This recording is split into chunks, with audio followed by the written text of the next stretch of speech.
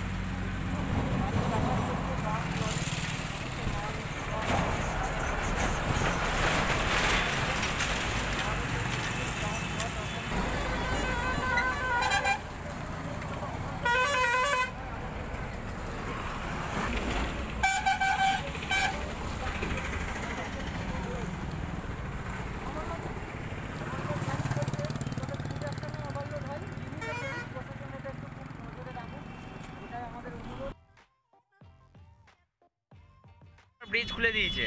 ঠিক আছে? ভালো লাগছে। কতদিন পরে এই রাস্তা দিয়ে যাওয়া যাতায়াত হচ্ছে? দু তিন মাস দু তিন মাস পর? আগে তো যাওয়া যেত না। এখন যেতে দেওয়া হচ্ছে। ধন্যবাদ। আপনি কোথা থেকে আসছেন? এখন তো আসি আপনার কমলপুকুর চটি থেকে আচ্ছা ধন্যবাদ। এতদিন পর ব্রিজটা খোলা হলো। এ বিষয়ে কি বলছেন? ব্রিজটা হ্যাঁ ব্রিজের জন্য সাধারণ মানুষের যারা প্রতিদিন নিত্যযাত্রী যারা প্রতিদিন যাতায়াত প্রচণ্ড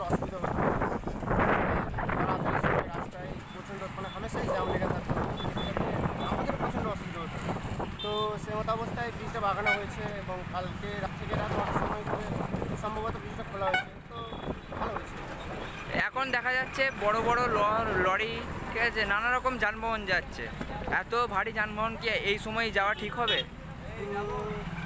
এই বিষয়টা যারা প্রশাসনকে এই বিষয়টা লক্ষ্য রাখতে হবে। কারণ এই বিষয়টা যারা ভলেন্টিয়ার আছে তারা তো ব্রিজের সামনে এমনিতেই গার্ড আছে। এই জিনিসটা তাদেরকে একটু নজরে রাখলে জিনিসটা সম্ভবত রোধ করা যাবে। আপনারা কি দেখছেন এখন? বাস? বাস যাতায়াত তো ঠিক দেখছি না তবে এমনি লরি বা যেগুলো বড় গাড়ি বা যেগুলো যাতায়াত করছে ধন্যবাদ। আপনার পরি আমার নাম দীপ ভট্টাচার্য। ধন্যবাদ।